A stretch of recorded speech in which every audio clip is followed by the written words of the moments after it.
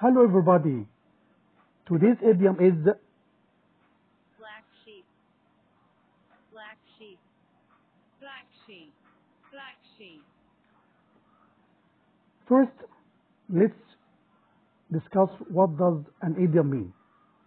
An idiom is a group of words in a fixed order that have a particular meaning that is different from the meanings of each word on its own.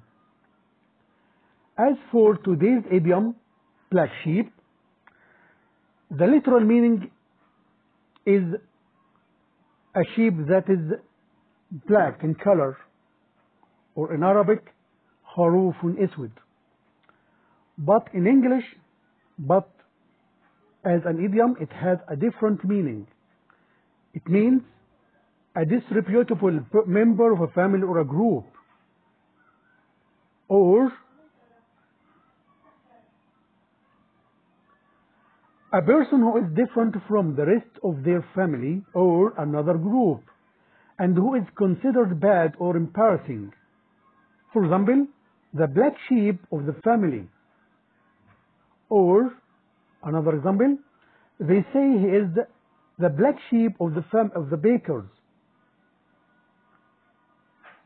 هنا معناه شخص سيء السمعة أو شخص سيء وليس المعنى الحرفي بأنه شخص بأنه خروف أسود.